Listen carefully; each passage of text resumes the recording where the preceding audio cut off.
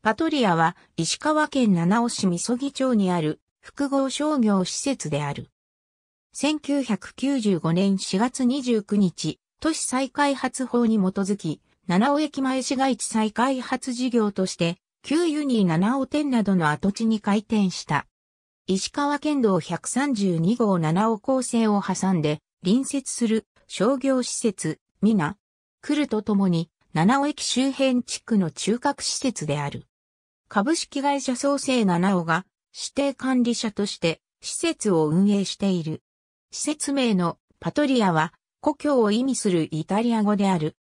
3階には七尾市役所健康福祉部と社会福祉協議会が4階と5階には生涯学習施設のフォーラム七尾を併設している。従来は特定のタクシー乗り場がなく、往来の多い通り沿いにタクシーが停車して乗降していたが危険だったため、同館1階の屋内駐輪場の一角を改装して2台分のタクシー乗り場を設置して2011年2月24日から利用を開始している。開業当初の各テナントは総合 GMS 企業であるユニーが運営するユニー、七尾店と大和のギフトショップであるパトリアヤマトを核とした専門店街で構成されていた。パトリアヤマトは売り場面積は約1210平方メートル。ユニー七尾店は開業時能登地方最大の食料品売り場を持つ店舗であった。七尾市や地元企業や地権者が出資した七尾都市開発株式会社が施設を所有、運営を行っていた。2015年10月、ユニーは七尾都市開発に2017年4月以降の契約更新をしないことを通知し、同社の2016年5月の取締役会を経て、2017年2月12日での閉店が正式に決まった。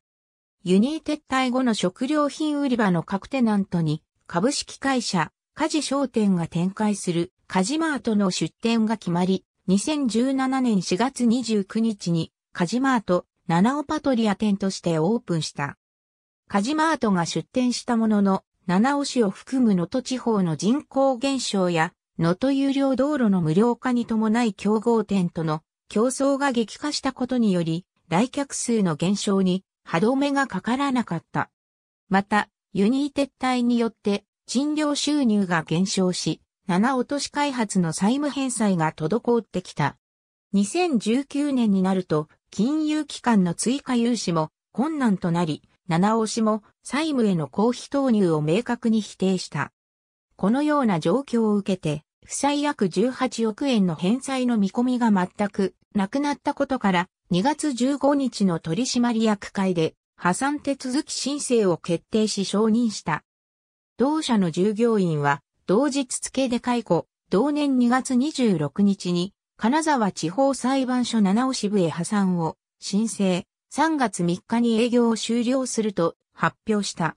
しかし、退去期限が3月15日に設定されたことにより、各テナントから急すぎると反発、これを受け営業終了日をゴールデンウィーク最終日の5月6日に延期することになった。